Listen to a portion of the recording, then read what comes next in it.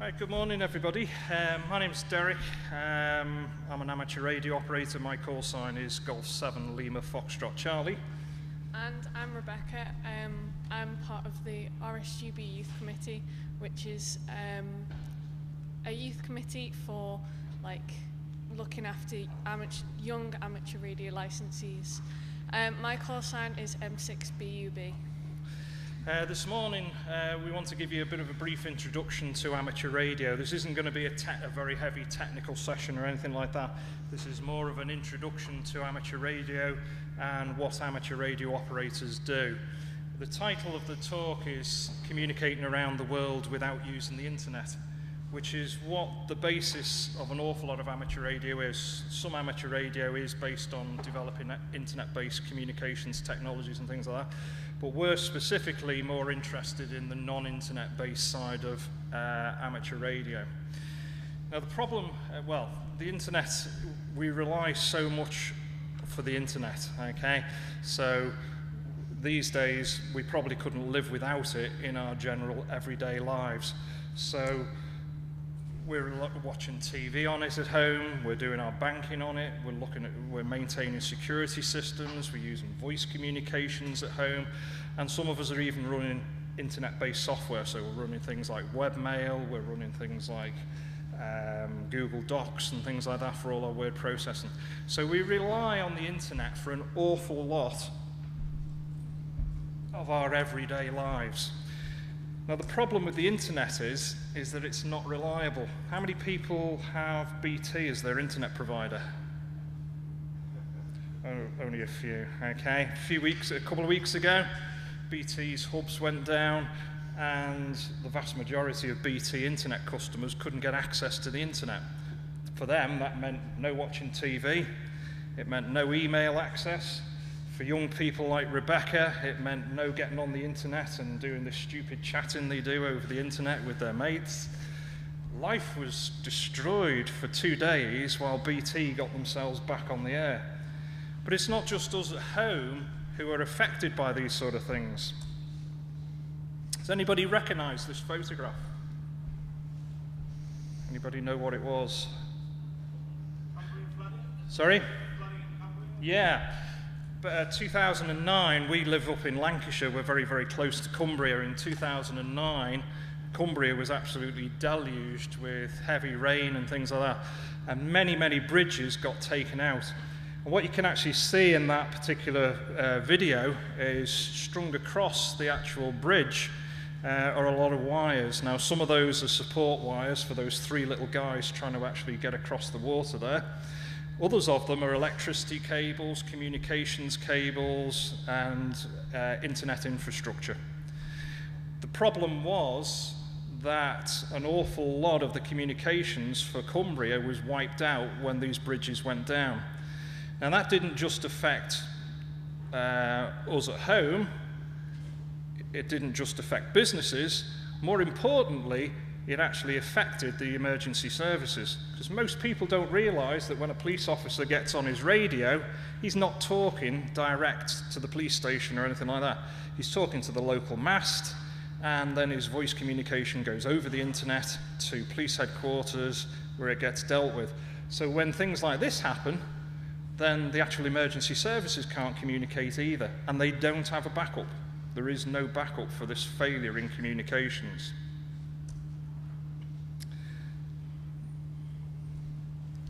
This is actually uh, just outside Cockermouth. This was one of the big bridges that went down, but there was lots and lots of bridges carrying infrastructure like this that actually went down. Now, we specialize in wireless communications, which means we don't rely on the internet. We're communicating point to point through the air, through the ionosphere, etc. So we're not actually involving the internet in any of our communications. Our communications can be either local or it can be long distance. Right, now there we go. Let's just go up a slide. Unfortunately, this was done in PowerPoint. This was done in PowerPoint and it doesn't work terribly well in doesn't work terribly well in uh, free software, unfortunately screwed up.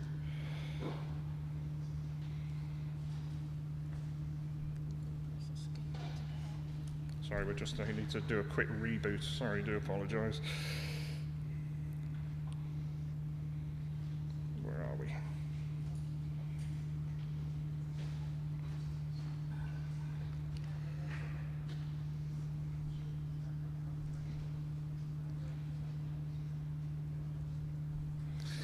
Now, frequency is a measurement of how fast things move. So if I wave my hand two times a second, okay, I'm actually waving my hand at a, what they call a frequency of two hertz, two times a second.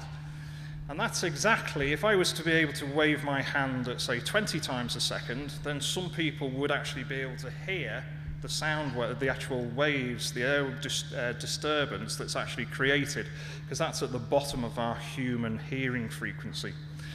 So anywhere between 20 hertz and 20 kilohertz, a good hearing person could be able to hear it, okay?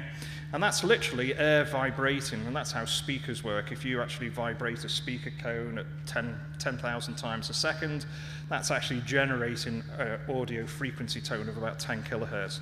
Those of you who are musically orientated, okay, will recognize what middle C is. That's actually got a frequency of about 261 hertz. Now, these are frequencies that we can hear. So, any frequencies, anything that's vibrating the air and things like that around us, between these frequencies, we can actually hear. But above that, above those frequencies, we've actually got radio frequencies. Now, these are frequencies that we can't hear, but these are frequencies that can carry information through the air and through the ionosphere around the actual world. Okay? And we've got six main bands to actually uh, use, and these are split up with these particular frequencies. Now, these numbers might not make much sense to you, okay? But if we actually replace them with actual descriptions, so those of us who are old enough to remember what long wave is, or cricket fans, any cricket fans amongst us? Listening out on the cricket on Radio 4 on long wave, okay? So they're the low frequencies, okay? Then we move up to the medium wave frequencies, which are the things like Rebecca listens to on Atlantic 252 or whatever it is, pop music from Southern Ireland. No? she's moved on, she's on the internet. Uh, then we move up into shortwave radio, what people recognize as shortwave radio, where we've got worldwide broadcasts and things like that up to the VHF frequencies, which are what we use for ordinary FM radio, radio 1, 2, 3, 4, etc. Up into the UHF frequencies, which is where television and mobile phones sit. And then up into the super high frequencies, which is where your microwaves sit. Get rid of that. Okay, so these are all the radio frequencies that we've got available to us. Now, the thing with radio waves is they travel along the actual ground. Okay, so when we're transmitting here, we'll get radio waves that travel around, uh, actually along the ground. And the lower frequencies will actually travel further. So, very high frequencies, like the ones generated by this handheld, will probably travel maybe five miles around here. If I get up on a hill, I might be able to get 75, 80 miles out of it. But if I was using much lower frequencies, then those signals would actually transfer, tra uh, travel further. So the lower the frequency, the further those radio waves will actually travel. Now, they don't just travel along the ground, they also go out into the air, into the air around us and the atmosphere around us. Now, sitting above us about 50 kilometers is something called the ionosphere, which is a dense level of gases. And the low frequencies will actually bounce off this ionosphere. And you can actually see in the diagram there, there's actually uh, the red line. That's a low frequency, sort of frequency that we're transmitting on in the tent outside with the big vertical antenna. And they will actually, those signals will actually hit the ionosphere, bounce back down to Earth, and anybody in the zone where that signal hits the, uh, hits the earth can actually receive the signal. Sometimes that signal will actually bounce back up again into the ionosphere and we'll actually get what we call multiple hops. So we can actually transmit right the way around the world using multiple hops. The VHF signals, the higher signals, unfortunately, they actually pass right the way through the ionosphere, so they don't get reflected. So these sort of signals that, that are generated by these transmitters, they won't get bounced around the Earth, they'll go straight out into space. So I guess if you're sitting on the next uh, shuttle to Venus in about 60 years, you may well be able to hear some of us amateur radio operators calling CQ. It's not an issue though, because what we do have is we've got satellite. Um, so those VHF signals that actually pass through the ionosphere, they can actually uh, get reflected by satellites. So we can actually reflect those as well, but we're using an artificial reflector, a satellite, to actually bounce the signals back down to Earth. So this is what we as amateur radio operators do, and this is why we call it communicating around the world without the internet the internet is always seen as the modern must have piece of technology for communication. Unfortunately, it doesn't always work, and this is a fallback system, and this is what a lot of amateur radio operators uh, experiment with. So, not all amateur radio operators are geniuses. I'm certainly not a genius. Um, however, A lot of um, re- amateur radio operators experiment with um, wireless communications. So they can they'll experiment with normal radios. They'll exper- they'll experiment by developing uh, wireless communications and technology and systems. So they'll like create their own kind of thing and experiment to see if it works and how they can fine tune it to create it and make sure it's even better. Um, they'll use wireless to communicate with other amateur radio operators around the world. So if there was someone in like Brazil, you could speak to them. Um, where did we get? We got to. Uh, the furthest we transmitted to yesterday, HF conditions weren't brilliant. The furthest we got yesterday uh, was uh, Greece and Turkey, I think it was yesterday. But if conditions are like brilliant, you can get to like uh, Brazil, uh, America, places like that. Um, and there's lots of different like areas of amateur radio, so you can vocally talk to people. You can do keyboard to keyboard, so basically like type into people. You can use satellites to like bounce off um, and like enhance your um, signal. You can use Morse code, which is basically like um, a series of dots and dashes that are formed to create words, numbers, and sentences. Well, a lot of people actually think Morse code is a very, very old fashioned method of communication and that it's actually on the way out. Uh, certainly, the military have stopped using it. They made a policy many years ago, stopped using it. However, they're very slowly reintroducing it because they've now realized that when the satellites go down, when the internet goes down, nothing actually gets through better than Morse code. You can, very, what you will find when you're listening to HF signals is voice signals get very easily distorted, and it's really difficult to actually hear what somebody's actually saying.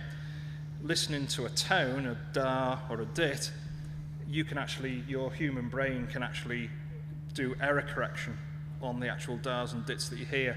So you actually find that Morse code actually is slowly coming back into the military because it's one of the few modes of communication that actually still works properly. There's also something called SSTV, which is basically slow scan TV, where you can take still images and can you take videos? Yeah, that's fast, fast scan TV. And you can use fast scan TV to send uh, videos over the radio waves and it will be decoded by someone else. So the SS, the ISS um, often like brings um, has a SSTV like kind of what's it called? Yeah, we were we were last year. The uh, International Space Station was actually transmitting uh, slow scan TV um, transmissions, and anybody with a receiver uh, could actually um, hook it up to uh, the, uh, tune it to the right frequency and actually receive those signals and actually decode the actual images that were being transmitted.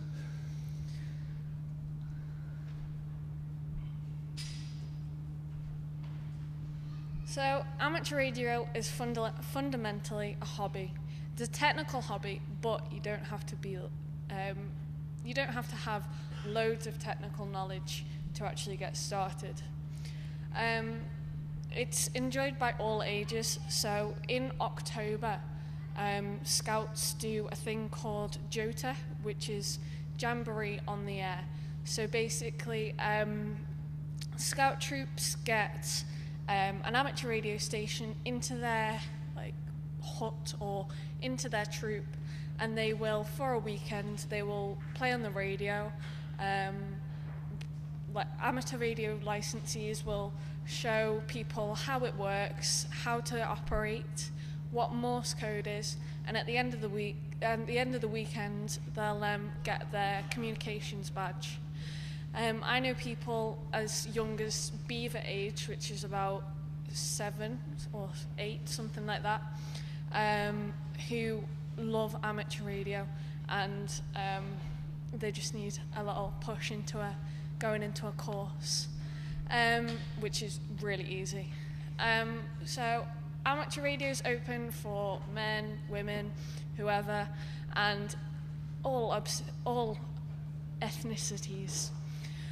The the one thing, the one good, the other good thing about amateur radio operators is that you're allowed to communicate with the International Space Station.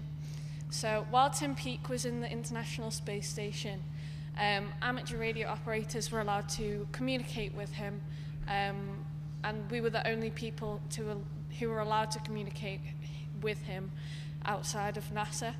Um, so in schools, in some schools um, earlier this year, um, some amateur radio operators went into the schools and allowed the pupils to talk to Tim Peake using amateur radio. And from what I've heard, lo- they all loved it. And um, I think even a few people did the amateur radio license um, while the Tim Peake speak, uh, talks were going on as well. If if you are interested in the International Space Station, we've actually got three passes. Carefully arranged this so that we've actually got three passes over the site uh, today. Uh, one of them will be at just past 8 o'clock uh, this evening. So if you are interested in communications with the space station, uh, if you make your way over to the amateur radio village at around about 8 o'clock-ish, uh, then they'll be attempting to actually work the uh, space station. Uh, they've actually switched off their voice transponder, but they will be accepting data transmissions. Uh, so it's a good opportunity to actually see uh, a ground station, a satellite ground station in action uh, later on this evening.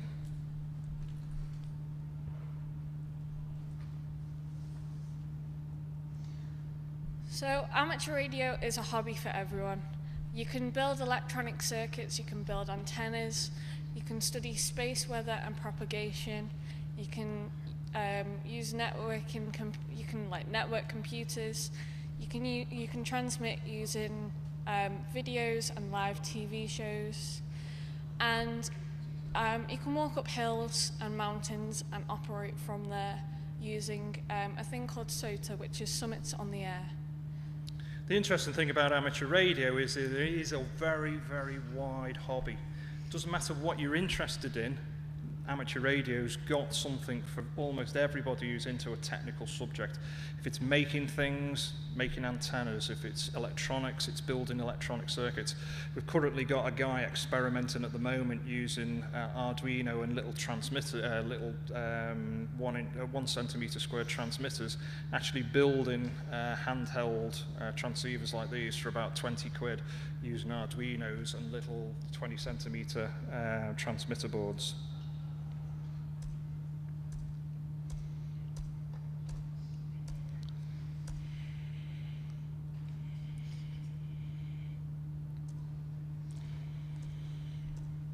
So, what's all this got to do with the floods that we started talking about at the beginning of the actual uh, talk? Unfortunately, when the bridges did go down and the cables were broken and the internet stopped working and the radio communications failed for the emergency services, it was actually amateur radio operators that were called in to actually set up the wireless communication systems on a temporary basis while BT got themselves sorted out. That involved teams like me actually going up to the Lake District with all our wireless radio equipment, erecting stations at key places like police stations, ambulance stations, hospitals, fire stations, council places, and things like that, and actually providing the radio communications infrastructure for all these professional services that couldn't actually handle the fact that a cable was broken. So we, I actually belong to an organization called RAYNET, which is the Amateur Radio Emergency Network. And we're a team of volunteers that actually go in and provide this infrastructure. Now, these are. This is the last time I'm using free software.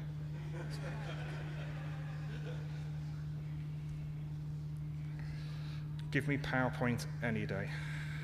At least I know how to rack that.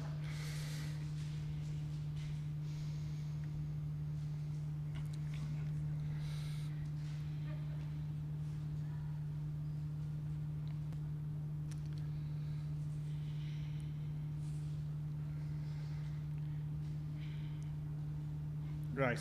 These were some quotes from the actual, uh, this was preparation for this particular event. And this was what was published by Raynet as to what our duties were going to be. If the bridge collapses before the cable work is complete, Raynet will be called out to pass messages between two police stations and four council locations. That was our actual brief for this particular bridge. Uh, cell phones should still work but may be congested. This was a problem that they found at the Twin Towers in America. When the Twin Towers came down in America, uh, the mobile phone lines became very quickly congested because it's amazing how many people want to make a phone call when something drastic happens.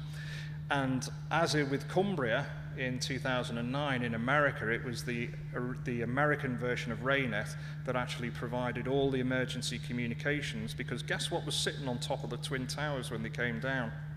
The two masts that they needed for all the communications for New York were on top of those Twin Towers.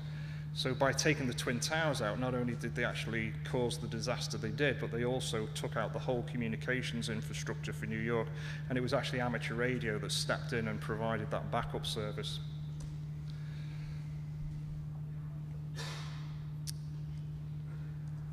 There we go.